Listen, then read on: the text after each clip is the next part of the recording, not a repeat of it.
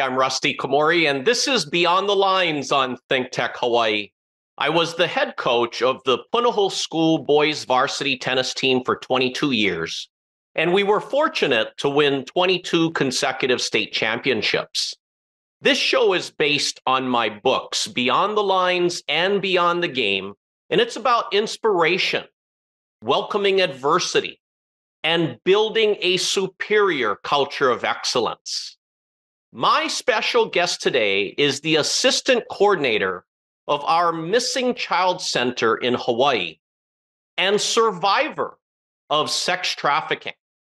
She is Kalei Grant. And today we are going beyond crime prevention.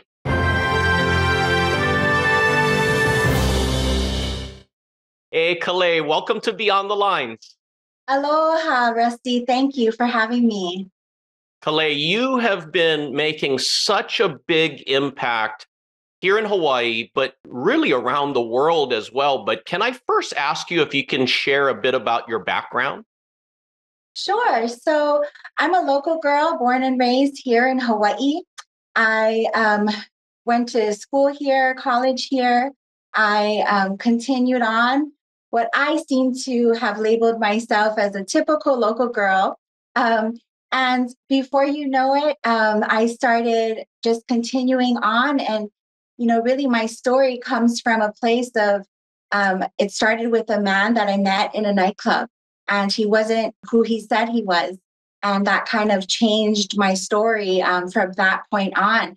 But as a Native Hawaiian um, survivor and leader of sex trafficking, it's so important to me and really have has become my life um, I'm commitment to making sure that no other person has to endure what I've overcome and really just paving the way for generations to come. Kalei, I know it's going to be, I mean, you're so brave, you're so courageous. Um, can I can I ask you if you can share that story about the lowest point that you experienced in your life? Yes, sure. You know, as I shared, Rusty, I, I'm I was a typical local girl, never really exposed to domestic violence, drug use. Um, I come from a working class family. I enjoyed, you know, playing soccer as a kid, just very, um, uh, I call it sheltered, um, sheltered life. So it wasn't until um, I met a man in a nightclub where my life turned and he wasn't who he said he was. Um, after two weeks of dating and get to getting to know me as an I was an adult at the time, um, he then drove me to a place downtown um, Honolulu that we is familiar to us all, and he said, "This is the truth. I'm a pimp. I own an escort agency and this is what you will do for me. And if you don't, I will kill you. I will kill your daughter, your family. By that time, he got to know everything about me, where I worked, where my daughter went to preschool. Um, and so he, he then had everything to hold against me. And at that point, remember, I was never exposed to that. So I was very shocked. The lowest point in my life was because that time from two weeks turned into two years of my life of trying to escape, trying to run away from him, trying to just be a mom, just be a daughter, just be a mother to my my daughter. Um, the lowest point would be I recall being in a room thinking, how did I end up here? How am I going to get away from this man? I felt that I hit rock bottom. I hit the lowest point of my life. So much so that I couldn't see beyond my current situation. I felt trapped. I felt um, invisible. I felt like no one cared and no one would care, even if I tried to tell them what was happening. Kalei, how old were you? You said you're an adult. How old were you? And then what specifically happened during those two weeks before he revealed that he was a pimp? So I was 25 at the time um, when we met. This was around the Pro Bowl, when Pro Bowl was very big here in Hawaii. there were a lot of events surrounding it. And I went to a club where there was a party and I met him as you would think normal adults would meet at events.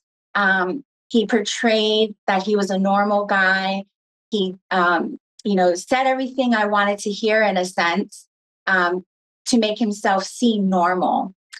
And so within the two week time period, he was very persistent about getting to know me, asking a lot of questions, taking me to breakfast, lunch, dinner, coffee, any excuse to um, see me, to get to know more about me. That's what would happen.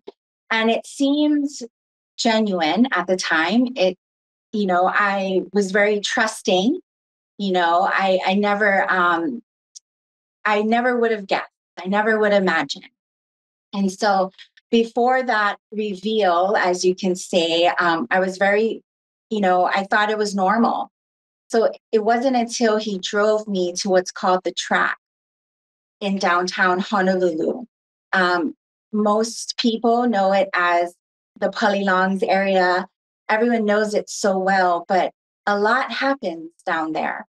And once he revealed to me that he's a pimp, he owns this escort agency, and I will do what he says to do. And if I don't, he will, you know, hurt myself and um, my daughter and those closest to me.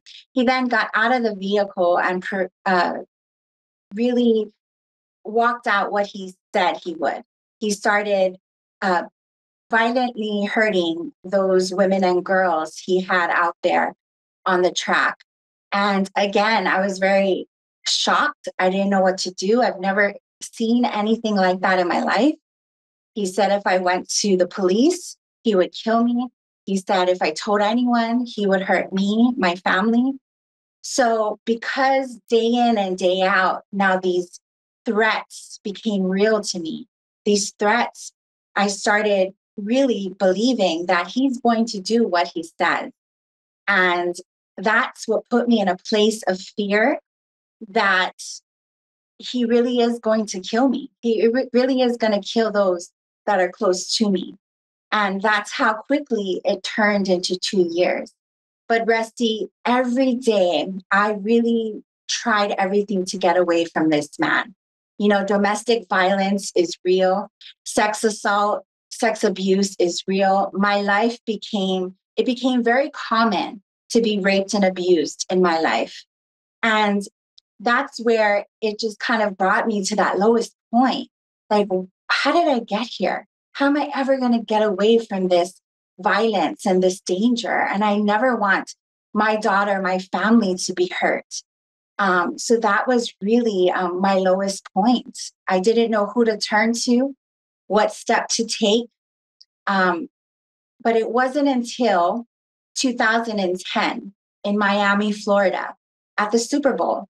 And that's where he flew, he flew all of us there. There were there was myself and three other females at the time one of which was um, under the age of 18. And at that time, there was a tip that was placed that activity was happening in a specific hotel. And that's where law enforcement came in. Once we were recovered, the pimp was detained um, and we were able to return back to Hawaii. And that's really the, the moment I really had to figure out now what? What am I going to do? I had all these labels placed on me. You know, at that point, no one wanted anything to do with me because of the association, but they didn't understand the situation I was in.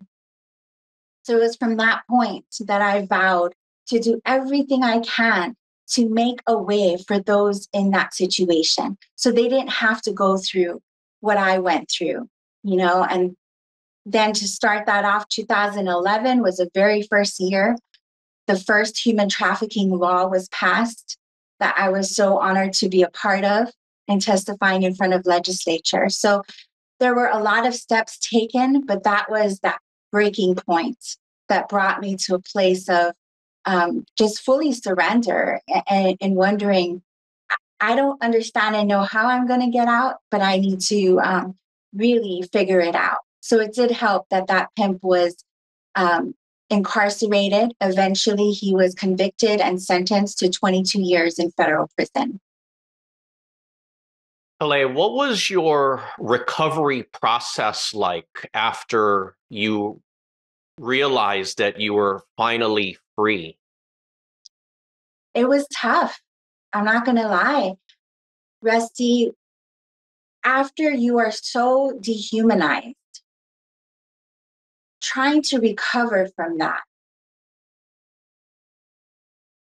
is more than words could ever describe. Because I was a whole person. There is my spirit and soul. My soul is my mind, my will, my emotions. Everything needed to be restored. Everything was completely destroyed. I couldn't look up. I couldn't make eye contact with people. I didn't know who I was. I walked with a demeanor that was very hidden, like I was trying to hide myself in my own skin because that's how I was treated. That's how I was uh, dehumanized. And so to recover from that, when you, if you would have asked me this when I was in that moment, I would have no idea. I couldn't see beyond my current situation. And, but what I did commit to was taking one step at a time. So for me, my number one step was my faith. It was going back to church, being surrounded with people that loved me and helped me take those steps. And as I continued on, step one step at a time, by the time I looked back, I was able to recognize how far I've come. And so I continue to take those steps till today. God is there. God is there, Kalei. And um, I want to ask you, what was your mindset like? I mean, as you started to rebuild your life, I mean, can you share about how your mindset was? My mindset, oh, it was like never before. My thought process was completely destroyed you know, when people use the term brainwashed, you know, I feel like they use it lightly because until you're there, you don't really understand what it's like. For example, one that endured such extreme domestic violence and sex abuse, sex assault, um, your mindset then becomes so um, closed down you know, you can't even see beyond what's in front of you, you know, because you have no hope.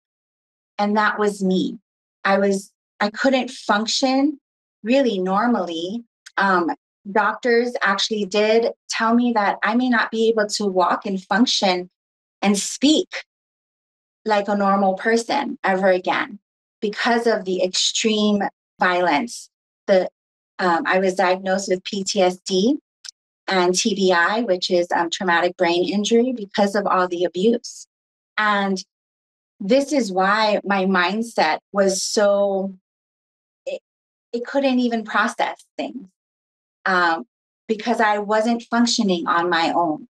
I was told when to eat, I was told when I could use the bathroom. I was told these things. And so living day in and day out in that world was very it, it was very um like i was in bondage and so to really take the steps to heal to recover and then to rebuild you know it was a journey but i'm so grateful i'm so grateful because this is who i am today by the steps that i chose to make and i'm continuing on strong so, Kalei, you and coordinator Amanda Leonard, you both are the Missing Child Center of Hawaii. Can you share what you both do? Yes, so we are the Missing Child Center. We're housed in the Department of the Attorney General, and we are the state's clearinghouse for missing children. So that includes lost, injured, or missing. That includes parental abduction. And our most, the most volume of our cases will be endangered runaways. And that is youth who have left the guardian, uh, the home and care of their guardian. Um, this includes foster care. Um, and we are the Maile Amber Alert coordinators for the state of Hawaii. So, our main function, our main role is to really support law enforcement in locating and recovering missing and exploited children. And Kalei, you you do speakings throughout the world. Is that true?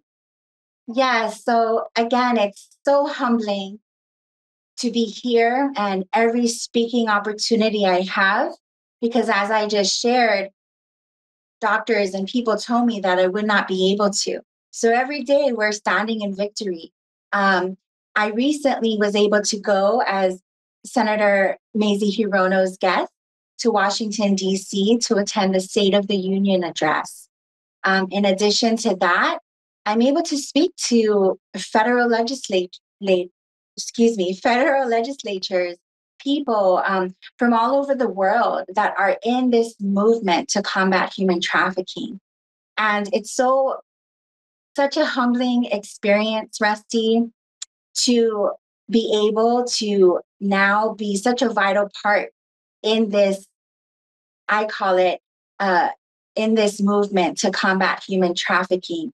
Um, it's really an honor um, to be that voice for those who really feel that they don't have one, and also be the voice for those who have lost their lives um, as victims, which a lot have. And so, also recently, um, I was able to share several years ago my story that is housed in the Library of Congress there in Washington, D.C. To leave that as a legacy for generations to come, not just about what happened, but how to be that message of hope and how that how someone can come from the bottom of their pit to even some of the highest moments in my life. And that's the kind of inspiration that i'd like to leave. Well kalei you're definitely inspiring i mean countless people. And you mentioned your trip to washington d.c um, you were there as Senator Mazie's special guest at the State of the Union for the president. I mean, what? I mean, that was so good of her to have you as the guest. And I want to ask you, Kalei, what um, what are some solutions to ultimately preventing uh, these sex trafficking crimes? Yes, so, Rusty, it was such an honor to be there as her guest. Um, I was able to meet with a lot of people um, for exactly that. How can we prevent human trafficking um, amongst um, Hawaii communities and beyond? And so, the first step is education, bringing awareness to the issue because we don't know what we don't know. So, educating our community to identify what it is, what it looks like, and how we as a community uh, can respond to the issue of human trafficking. And Kalei, what would be your advice to women and girls who feel trapped in their situation like like you felt during a part of that time? That there is hope you are not who they say you are. You are so valued and loved. The most courageous step you'll ever take is reaching out and asking for help. And I can't encourage you enough to take that step because there is so much life ahead of you um, that you deserve. And so, thank you, Rusty, for allowing me to share that. I just really want to be that hope to those women and girls and individuals that feel entrapped in a life um, that they cannot get out of. Well, Kalei, you you know now that my books, and I want to talk with you a little bit about my books. Um, that it it's helping people with mental health issues of depression and suicide. And in the books, I talk about choices. I talk about welcoming adversity, looking forward to challenges, uh, mindset, inspiration, hope. What are your thoughts about those uh, those situations to help people? Well, mindset is such a big part of who you are. It is your mind, your will, your emotions. There's so many parts to a whole person. But the thoughts that you think have has everything to do with who you are. So the more you surround yourself with people to uplift you, encourage you, that's life-giving. The more that we don't allow those things to uplift us, the more we surround ourselves with people that diminish or try to destroy us, our mindset then becomes that. But if we hold on to hope, if we hold on to what's ahead and the joy that's ahead of us, we can continue to make those strides to get there. You know, our choices um, dictate our destiny. You know, however, the past doesn't dictate our destiny. So it's from this moment forward.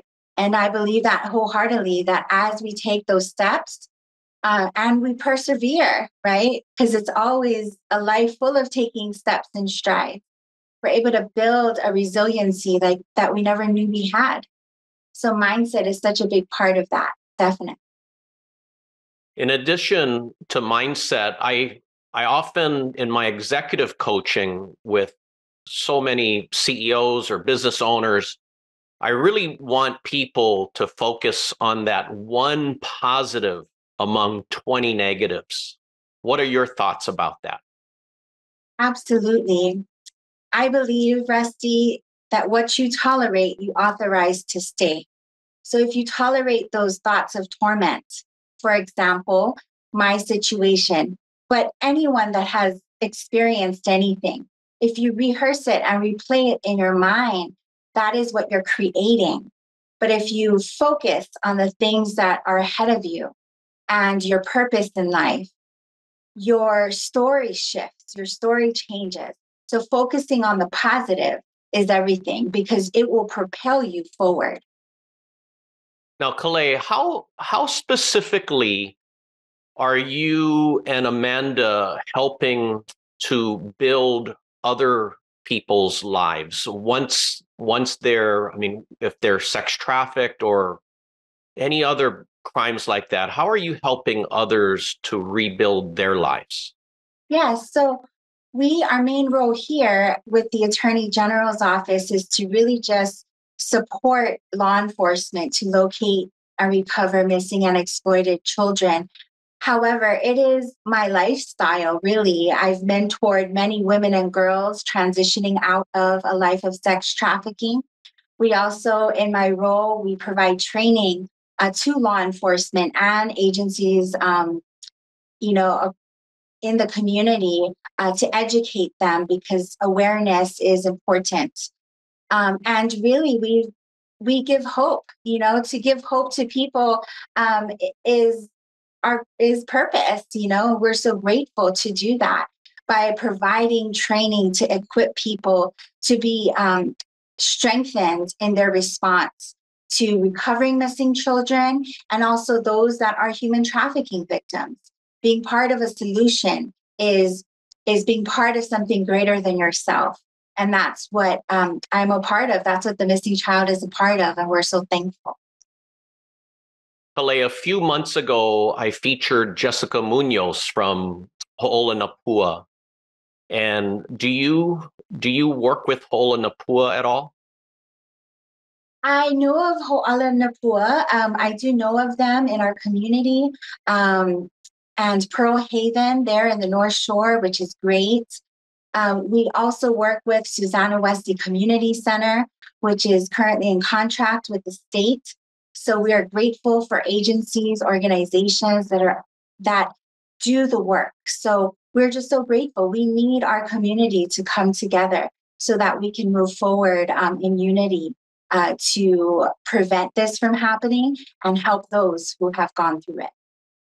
Completely agree with you. And I went out there a few weeks ago to Pearl Haven to really see it, and oh, it's so impactful. And and the girls to meet some of the girls there. I mean, it's it's. I mean, just hearing about it doesn't do it justice. When you're able to see it and really meet them and see what you know how they're rebuilding their lives. I mean, it's so powerful, and words can't explain it. And there's there might be people um, around us that might, I always say they might be suffering in silence or they might be bleeding in places that we can't see. What do you, what do you, um, what's your advice to, you know, the, the community to really bring awareness, like you said earlier? Really that, you know, it does happen here in our very own paradise.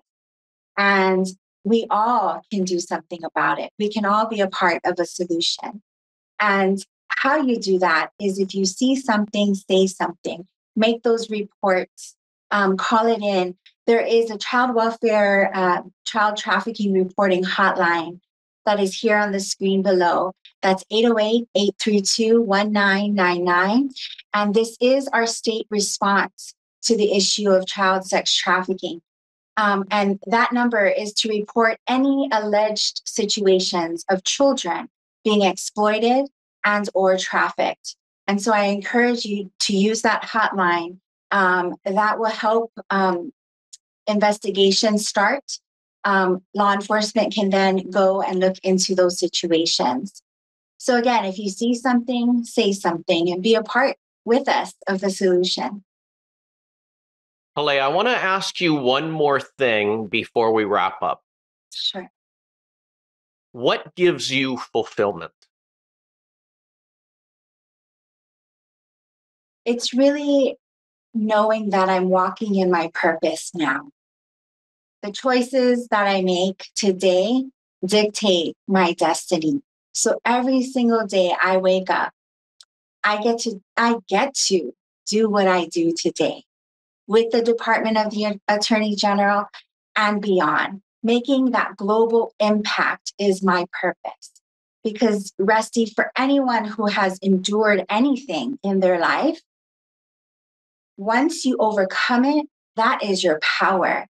That is your power to continue to walk out in victory, knowing who you are today because of it.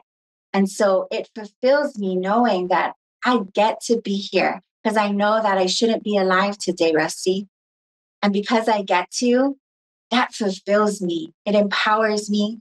It it really um, propels me to really continue that on. Well, Kalei, I always say there's two types of people in the world people that have a victim mindset and people that have a victor mindset. And you are so inspirational because you're one that has the victor mindset and you want to inspire everyone else in the world to have that same mindset. And I really want to thank you for taking time to be on the show today and to really share your story with everybody. Thank you so much for having me, Rusty. I really appreciate it. It's truly an honor. Thanks, Kalei. And thank you for watching Beyond the Lines on Think Tech Hawaii. For more information, please visit rustykomori.com, and my books are available on Amazon and Barnes & Noble. I hope that Kalei and I will inspire you to create your own superior culture of excellence and to find your greatness and help others find theirs. Aloha.